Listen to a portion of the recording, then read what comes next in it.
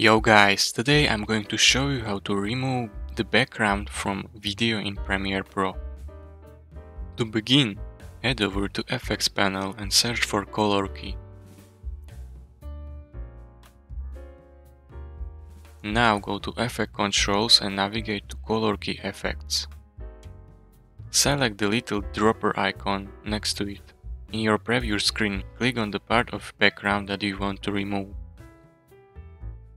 After that, go to wrench icon and choose Transparency Grid from the options.